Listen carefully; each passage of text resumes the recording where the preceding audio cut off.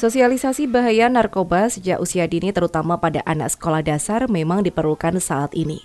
Untuk itu, Badan Narkotika Nasional atau BNN Kota Kediri bersama anggota Komisi BDPRD Kota Kediri, Regina Nadia Suwono mengadakan sosialisasi di Komplek SDN Mojoroto 1, 3, dan 6. Agar bisa mengena dan bisa dimengerti oleh anak-anak, diadakan pemutaran film anak dan pementasan panggung boneka. Panggung boneka sendiri diciptakan oleh BNN Kota Kediri diberi nama Titer Boneka atau Tibon. Para peraga dan pengisi suara enam tokoh boneka ini sendiri diisi oleh petugas BNN yang telah mempunyai pengalaman. Menurut anggota Komisi B DPRD Kota Kediri, Regina Nadia Suwono memberikan pengetahuan bahaya akan narkoba memang diperlukan sejak dini. Oleh karena itu, dengan acara ini diharapkan dapat memberikan pengetahuan serta memberi hiburan pada anak.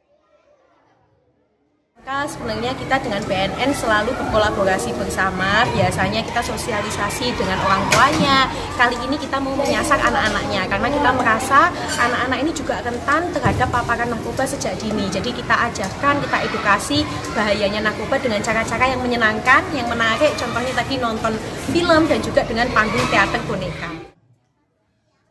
Sementara menurut Miftah, penanggung jawab sosialisasi bahaya narkoba BNN Kota Kediri mengatakan, bahwa perlu pendekatan dan cara yang berbeda untuk sosialisasi bahaya narkoba pada anak.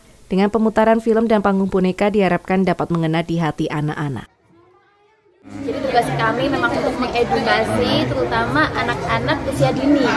Jadi kita menggunakan berbagai macam metode ya sesuai dengan sasaran. Dan untuk anak usia dini itu perlu kita kenalkan bukan pada jenis narkobanya, tapi bagaimana kemampuan mereka untuk menahan. Jadi daya tangkalnya yang kita tingkatkan ketahanan dirinya lewat berbagai metode yang bisa diterima oleh anak-anak. Salah satunya dengan panggung boneka. Di akhir acara, sebagai bagian dalam rangkaian kegiatan juga diberikan bingkisan dan hadiah pada seluruh anak-anak yang mengikuti sosialisasi ini. Dari Kediri, Penny Kurniawan melaporkan.